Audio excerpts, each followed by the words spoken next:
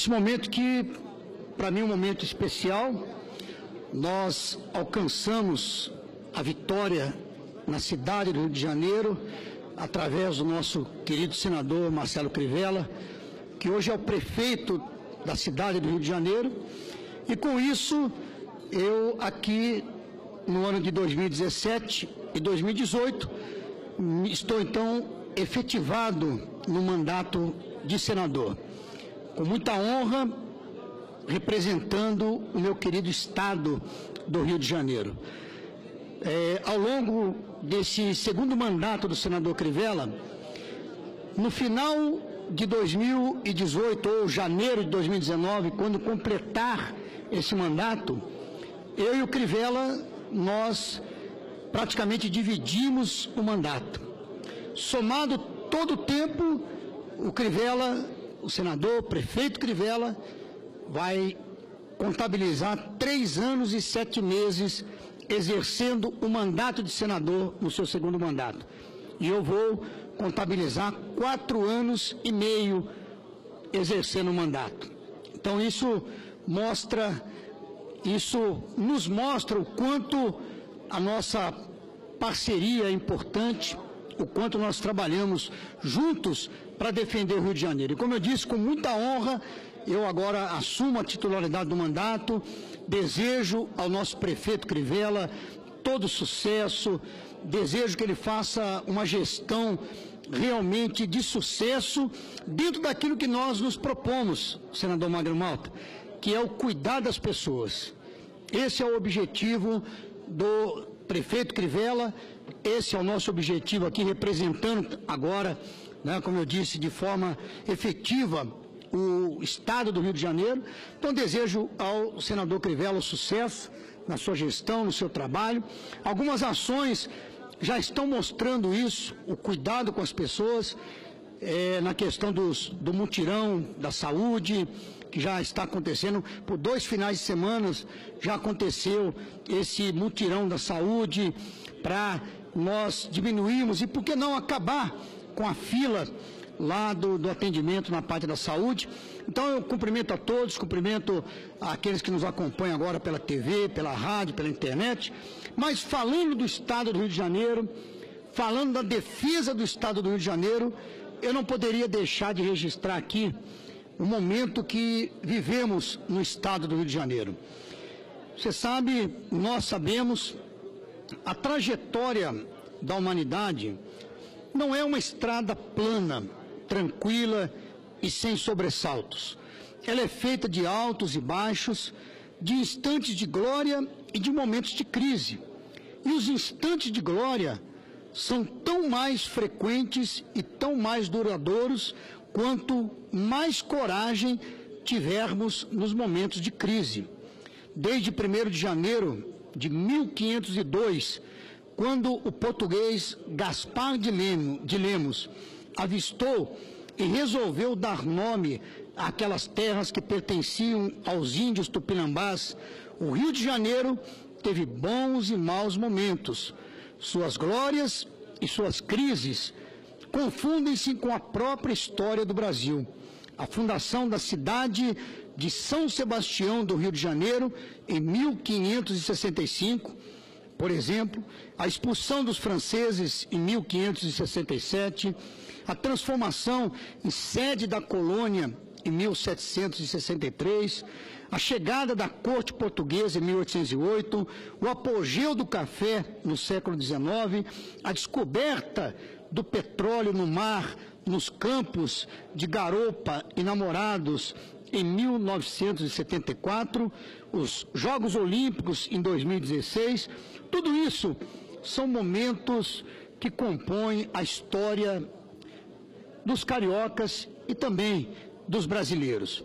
Hoje, nesse exato instante, brasileiros e cariocas enfrentam tempos nada gloriosos.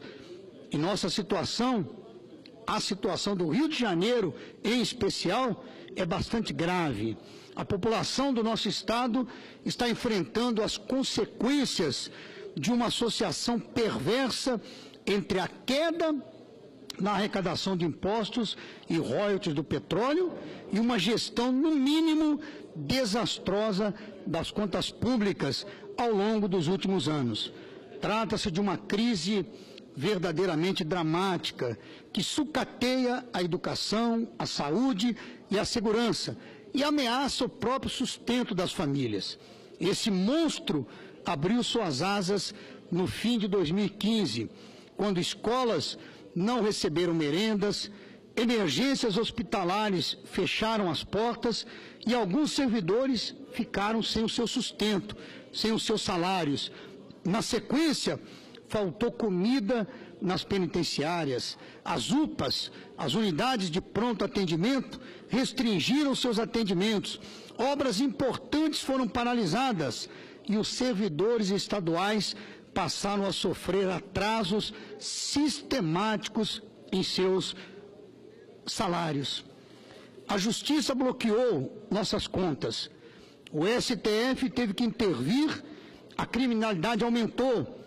O Estado perdeu 21% de seus empregos industriais, incluindo as indústrias naval, siderúrgica, metalúrgica, automobilística e de óleo e gás. A situação é de calamidade. E o projeto de lei estadual 2150, de 1 de novembro de 2016, apenas a oficializou. Nosso déficit pode chegar a 26 bilhões de reais nesse ano de 2017 e superar os 36 bilhões ao longo dos próximos dois anos. Quer isso mostra o quanto a situação do nosso Estado realmente é uma situação gravíssima. Não tem jeito. Nós temos que, juntos, o Poder Executivo, nós, como Poder Legislativo, o Congresso Nacional, os representantes do Estado do Rio de Janeiro, aqui eu no Senado, meu companheiro também, o senador Romário, o senador Lindbergh, os deputados federais, nós temos que fazer esse movimento para salvar o Estado do Rio de Janeiro, para recuperar o Estado do Rio de Janeiro. É um momento que não podemos pensar em questões eleitorais ou questões partidárias tão somente. Nós temos que pensar no povo. Nós temos que pensar no Estado do Rio de Janeiro.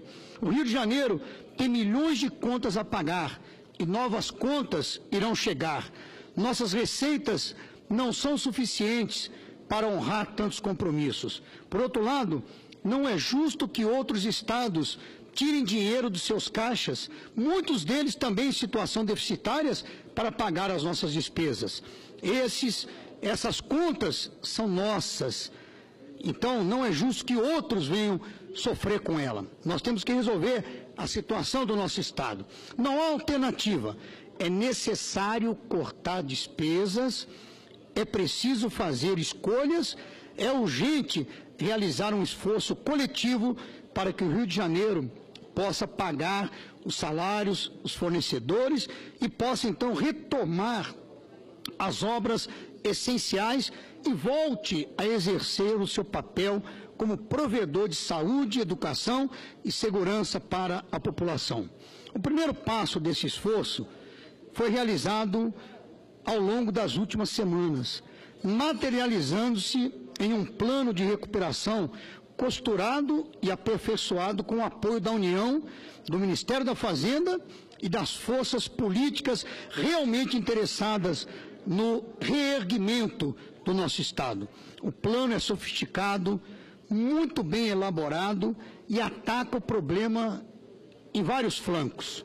Ele inclui algumas medidas sensíveis, eu concordo, como uma elevação da contribuição previdenciária dos servidores e a viabilização da Companhia Estadual de Águas e Esgotos como garantia de empréstimos, que é a SEDAI.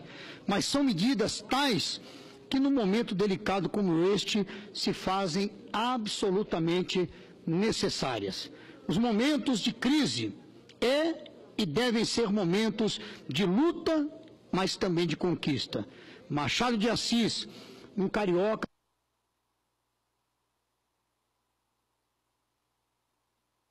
Senhor presidente, obrigado pela tolerância.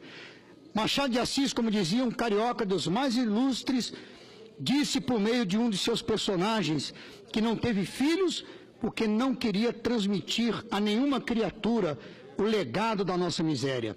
Nós também não queremos, não temos o direito de empurrar essa crise para o futuro. E ao contrário de Machado de Assis, temos sim filhos, netos e toda uma população cujo bem-estar depende de todos nós. Então eu quero aqui reafirmar o meu compromisso em defesa do Estado do Rio de Janeiro. Sou defensor do Estado de Janeiro como senador da República e vamos lutar sim para que esse projeto de recuperação ele seja aprovado na LEGE e possamos trazer o Rio de volta para o crescimento, para que ele ocupe seu lugar no nosso país. Muito obrigado, senhor presidente.